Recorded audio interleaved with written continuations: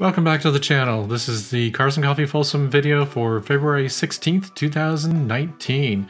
I'll do the time-lapse section up front here, and I'll do a general walk around. Very light attendance today, a little bit cold and somewhat rainy. As you can see, the ground is wet as we start this off.